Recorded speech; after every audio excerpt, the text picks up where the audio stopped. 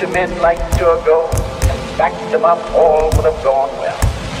But the beneficiaries of privilege, the forward reactionaries, the short-sighted ultra-conservatives turned out Turgot and then found that instead of him they had obtained Robespierre.